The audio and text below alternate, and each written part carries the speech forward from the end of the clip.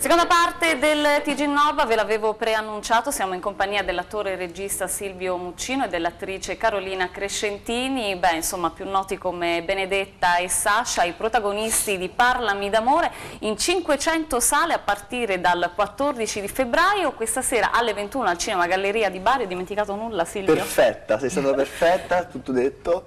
Allora, questo libro scritto a quattro mani con Carla Vangelista, quindi una tua fatica sia come attore, come regista, regista, anche come sceneggiatore e come scrittore. Ce ne vuoi parlare?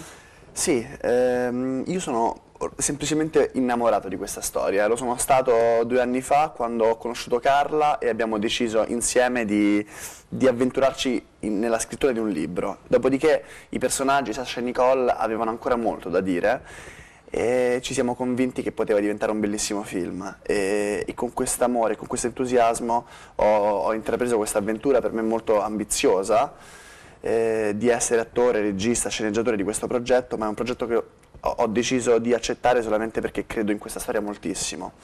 Un viaggio nell'amore ma anche un viaggio nelle diverse età eh, della vita ed anche nel modo differente in cui si vive l'amore.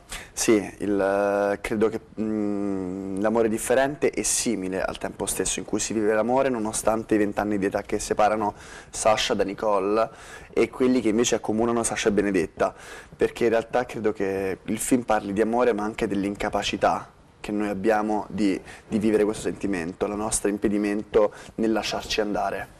Beh, che poi tutti cercano l'amore, ma eh, trovarlo e viverlo soprattutto, perché trovarlo magari è un po' meno difficile, ma viverlo davvero eh, forse lo è molto di più. Benedetta, tu sei l'ossessione d'amore di Sasha, eh, ma poi diventi la sua sirena del buio.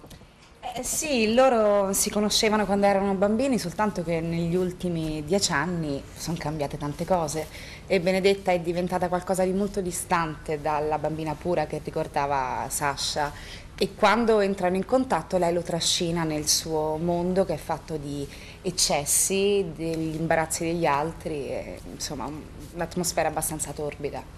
Per entrambi come è stato per te Carolina essere diretta da Silvio e per te invece con questo cognome importante, definiamolo anche un po' pesante dai. Non si eh, può dire. La, non si può dire. No, no, no si può dire, si può dire. Detto. No, si può assolutamente dire. Eh, però un'eredità uh, pesante che tu riesci a portare benissimo tra l'altro e non è da tutti. E com'è stata la tua esperienza da regista e com'è stato per Carolina essere diretta da te? Ma io posso solo dire che la regia era una cosa che mi spaventava ovviamente anche per gli ovvi motivi che hai detto te. Eh, credo che Mm, però un film del genere non lo fai né per ambizione né per dimostrare qualcosa a qualcuno, lo fai perché credi nella storia che vuoi raccontare e perché pensi di poterla raccontare bene.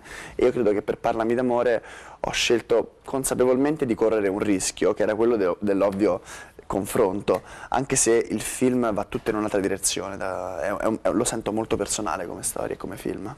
Per te Carolina, essere diretta da Silvio che cosa ha significato?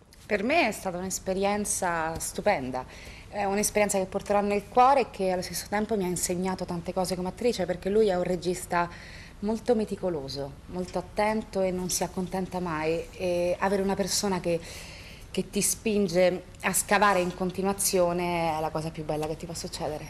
Beh, in base alle vostre esperienze personali, poi chiudiamo qui, rinnoviamo l'appuntamento con voi, che cosa vi sentite di dire ai vostri coetanei che hanno difficoltà a rapportarsi con l'amore?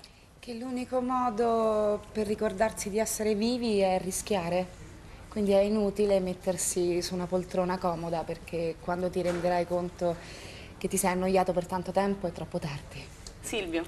Lasciarsi andare, buttarsi e, fondamentalmente mi sento di dire quello che dice Nicole a Sasha, e cioè che l'amore basta per essere felici.